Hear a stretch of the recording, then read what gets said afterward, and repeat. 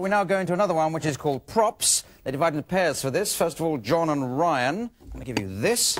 Now, with that item, you, you have to come up with as many different ways of using that item as possible, while at the same time, uh, Mike and Archie, you're using this thing. So I'll buzz between the two pairings, starting with you, John and Ryan. Where you go.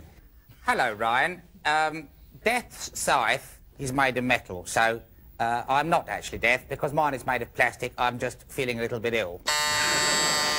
And here we have a good example of a pterodactyl. Swim, John! Swim! Swim to the boat! That's great, but how do you turn it down? I'm sick of bloody Froot Loops, all right? You eat them. When you go to a comedy club, wear the insult-proof vest. I went to London, right? I went to the Tower of London. And this asshole gave me this axe to chop off Queen Mary Queen of Scots' head. I said, what if I put it around the neck and just twist the head off of her? Man, did you see those guys in concert when they broke that scythe on stage? Okay, let's end there. Thank you very much. Um,